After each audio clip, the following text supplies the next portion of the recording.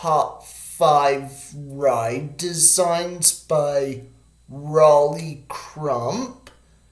Number five, Magic Skyway. Number four, Adventure Through Inner Space.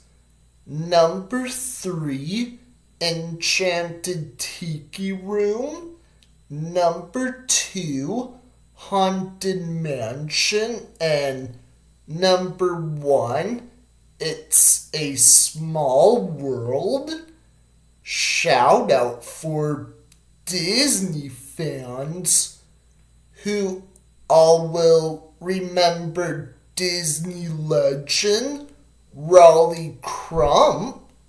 Very talented designing and making really cool of your favorite Disney rides.